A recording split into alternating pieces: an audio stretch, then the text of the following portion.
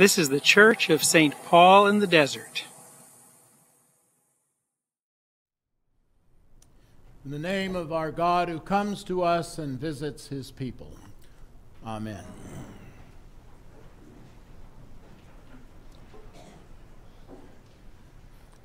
In the season of Advent, we are always mindful of not one, not two, but three comings of the Lord. The first, Bethlehem, which we're all very conscious of in the next couple of weeks. the coming at the end of history, at the end of time, which has been the huge theme the last two or three Sundays, all kinds of issues about last things, the coming of Christ, judgment, the end of history, and so forth. But the one that perhaps practically really matters on a practical level is the coming of Jesus to you and me in that mean time between the first and the last coming. Now, our gospel today directs our attention, zooms right down to earth from all those esoteric second coming things to real life and the real planet and real history. As the gospel opened, you heard seven different names mentioned of real people in history who actually lived Lysanias and Tiberius and Herod and Pilate by the way, we always mention Pontius Pilate in the Creed. You ever wondered why? Well, among other reasons, it takes us right down to earth and reminds us that this is all happening in real time in the real world you and I live in. These theologians call this sort of thing the scandal of particularity, meaning that if God is going to come and visit his people, uh, he has to leave you know, the clouds or cyberspace or whatever is, wherever is God lives, in order to come to us, he has to take and pick a particular time and place and circumstance. He can't be everywhere, he's got to come somewhere. So it's Mary and Joseph. Why Mary and Joseph? I don't know. That's who he picked. He had to pick a region Galilee, a country, Palestine, a city, Nazareth, Bethlehem. And when you deal with the specifics, then you have to deal with the specifics of those specifics in that context and with all its ups and downs and challenges and so forth. For example, if you marry someone, that means you have not married everybody else. And you have to live with the challenges and joys and all of the things that means to be married to that particular person. If you live in Palm Springs, that means you choose to not live anywhere else and must live with the realities, good and bad or whatever, about this place.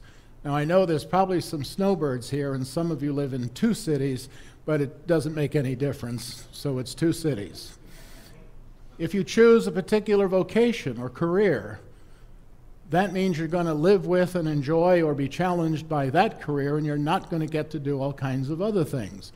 When I was in junior high and early high school, I thought I wanted to be a park ranger, a teacher, or a scout executive. You can see what happened to all of those plans. Maybe I should have been a park ranger. the scandal of particularity, it's got to happen somewhere, somehow, and you got to deal with the specifics.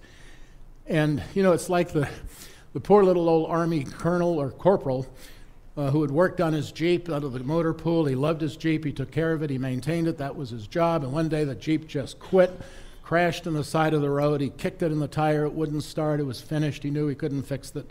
He was all upset and distressed. And an Army officer drove by and saw this soldier all upset and yelling at his Jeep. And he got out and said, Son, what's the matter? Sir, this Jeep is dead. I can't fix it. It's done. It's over with. We can't fix that. And the colonel says, Son, in this man's army, we got Jeeps all over the place. Go get another one in the motor pool. But, sir, I like this Jeep. Or, if you've ever been in any kind of, and many of you have, in any kind of romantic relationship where there was disappointment or breakup or hurt, and you felt you've been betrayed or lost or, or rejected, and you remember those feelings, and remember somebody came along and probably meaning well said something like, well, you know, there's a lot of fish in the sea. Do you remember how unhelpful that comment was? I don't care about all those other fish in the sea. I cared about this fish. So that's what we're talking about here. The question then is how, in the most scandalous coming of Christ, the most particular of all, the one that really should get our attention, is that Christ also comes particularly to you and to me. That's the one where it really hits the road. How do we prepare ourselves? How do we receive? How do we see this happening? How does Christ come to you and me in between those comings? Well, the tool that's alluded to in our gospel today is repentance. John arrives on the scene and announces a gospel of repentance and so forth. Clear the road, make crooked ways straight, level the hills, fill in the valleys. In other words, get the obstacles out of the way so God can come. And on an individual level, we have all kinds of obstacles that sometimes keep us from seeing the Christ has just showed up in our face and we didn't know it. Repentance is the key tool here, and that means literally to turn around and go in a new direction. It does not necessarily mean that you have to beat yourself up grovel in the dust, pour dust on your head, feel bad, or all of that stuff. Well, it might be appropriate depending on what, but it simply means to go in a new direction, to turn around. If you're eastbound on I 10 out of Palm Springs, you get off on the next off ramp and you turn around and you head westbound. That's turning around, that's repentance, going in a new direction. If you are drinking alcoholically and you're losing relationships or your job, then to repent means to stop drinking and to do all the things you need to do to maintain sobriety, going in a new direction. So, the Greek word for this, and maybe that's more helpful because it doesn't have all kinds of associations, is metanoia. That's a Greek word that means turning around, a new mind, a new way of seeing things, seeing things in a completely new way. That's what's necessary sometimes to see when God shows up right in front of you.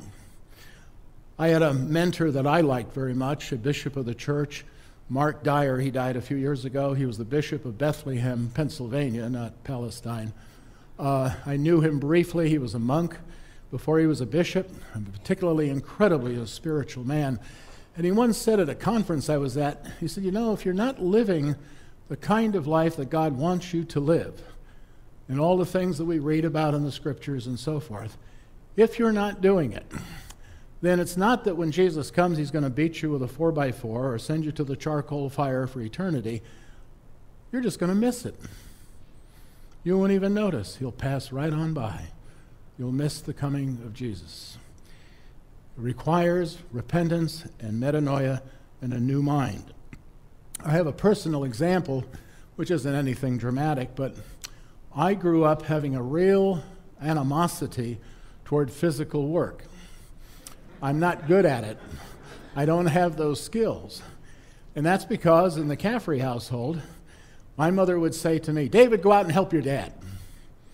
So I'd go outside, and dad would be under the hood or, or messing with a barbecue. And I'd say, Hey, dad, I came out to help.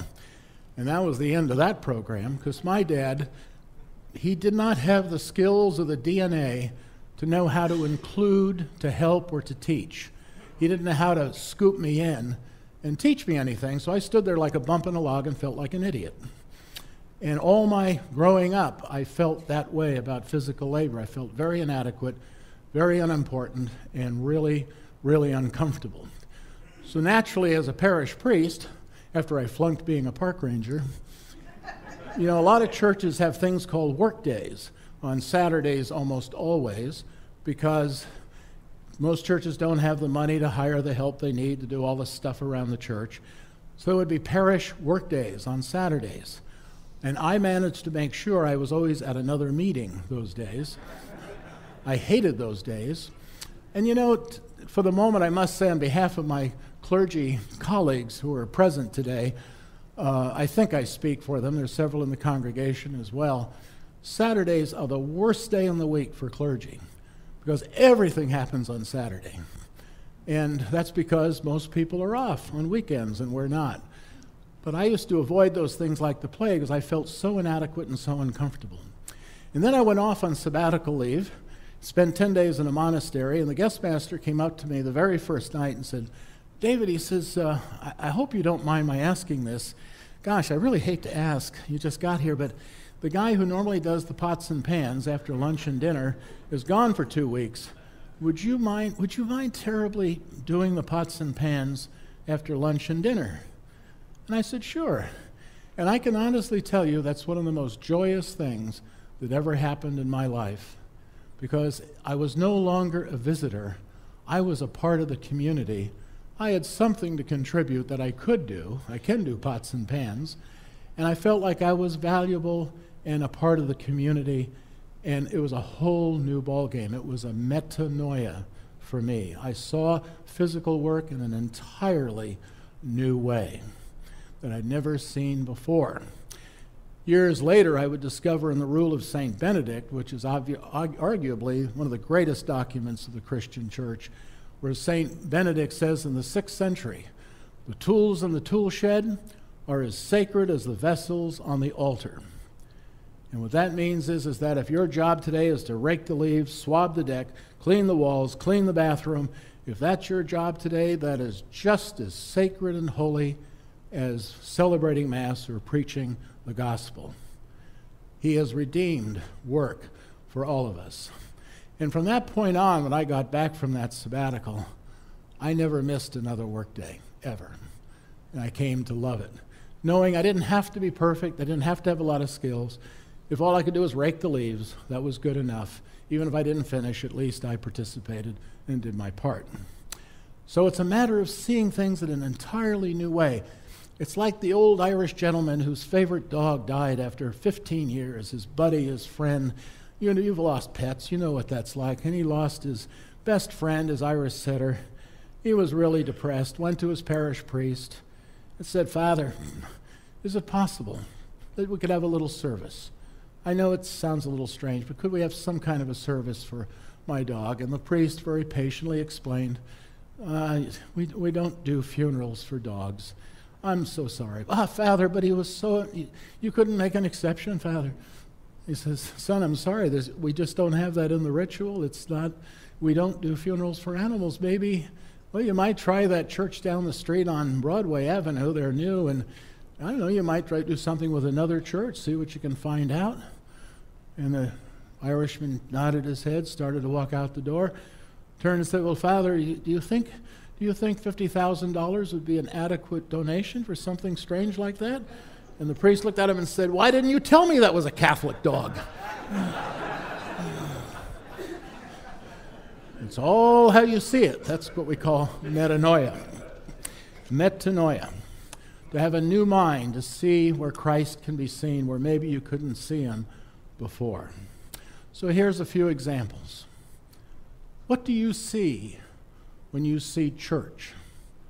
Do you see organization, building, program, clergy, laity, annual meeting, budgets?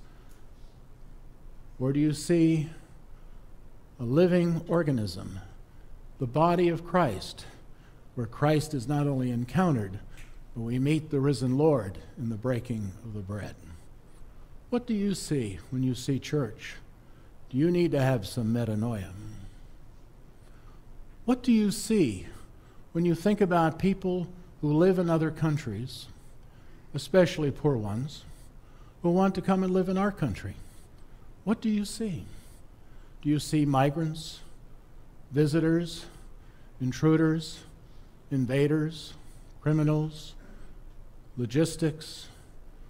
Do you see living persons who are scared to death and have no home, and in whom the image of God dwells, and Christ dwells in them. What do you see? If you worked in the health field, the, the medical field, what do you see? Do you see the cancer patient in 27, the stomach case in 29, the diabetic up on the fourth floor? Or do you see living persons, patients, scared to death, in whom Christ dwells and who are in the image of God. What do you see? If you grew up with an emotionally distant mother or an abusive and uncaring father, what do you see when someone says God is like a loving father? You'll need metanoia, perhaps with the help of a pastor, an uncle, an aunt, a church member, a counselor, to be able to see in a new way that God could be like a loving parent. About a month ago, there was an incident on the United Airlines flight in which a gentleman had a medical crisis on the flight, and a young physician went to assist that person on the airplane. And the crew was very skeptical and negative and resistant, not believing this person really was a doctor, even though that person held up a medical license that said physician. They had their license with them. The reason they couldn't see that person as a doctor was because A, they were young, two, it was a woman, and three, it was an African American woman. And that crew couldn't believe, because of their lack of metanoia, that such a person could actually be a doctor and help somebody in a medical crisis, even after she held up her medical license. The happy ending of that is that United Airlines apologized later for that incident. Even an airline can have metanoia and see things in a new way. The point being that if I can see Christ appearing in others or in you, then perhaps I can also imagine that Christ might appear to me, even me. And so, if I cannot see or experience or be aware of Christ in me, those other comings are lovely, but they're rather academic, aren't they? But if I can see, experience, because I'm able to see, that Christ can appear to me, to David, particularly David, or particularly you, ah, then those other comings begin to make some sense. And then I can believe and proclaim that of, of course Christ will come again because he's already come, and even particularly to me and to you.